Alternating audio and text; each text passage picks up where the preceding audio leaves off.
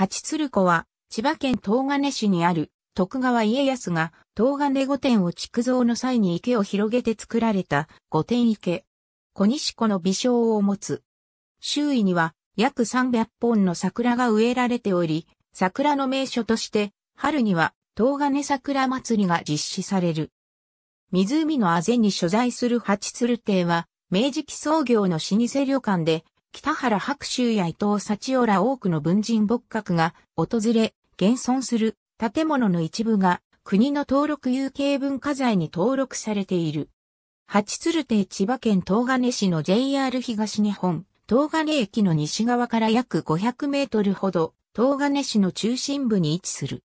面積は3.4ヘクタールで、周囲約800メートル。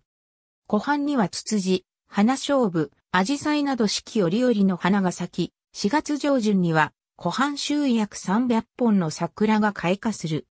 1614年に徳川家康が土井利勝に命じて造成した宿泊所、東金御殿を築造の際に、御殿からの眺望を良くするために中心にあった池を広げ、谷池、御殿地、八鶴地と呼ぶようになり、現在の八鶴湖が誕生したとされている。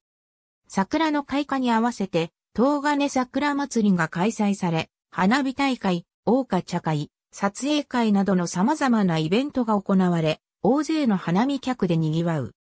また、8月下旬から9月上旬頃には、東金商工会議所青年部主催の八角湖ボートカップが開催される。池の北東側の高台に、昼間には九十九里浜まで見渡すことのできる山王台公園があり、夜景や正月には初日の出、春には花見客や夜桜見物で賑わう。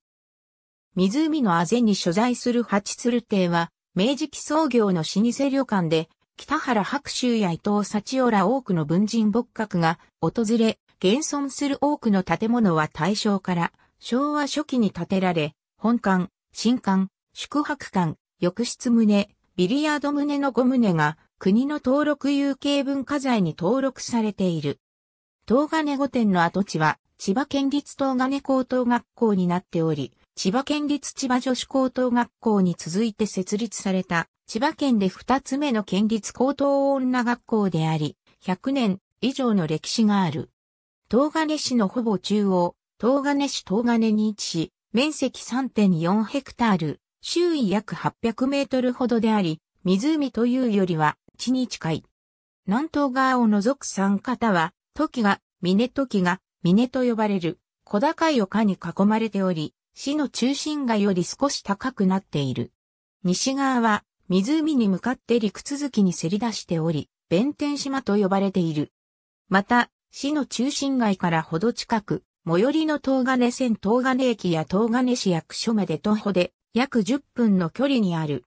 江戸時代初期の東金の地は、江戸からほど近いため、将軍家の高狩り場として、東金駅西側の丘陵地に、本格的な高狩り御殿の整備が計画される。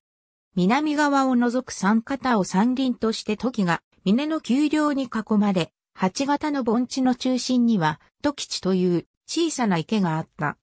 1614年に徳川家康が土井利勝に命じて造成した東金を成街道終点の宿泊所、東金御殿を築造の際に、御殿からの眺望を良くするために中心にあった池を広げ、谷池、御殿地、八鶴地と呼ぶようになり人々に親しまれた。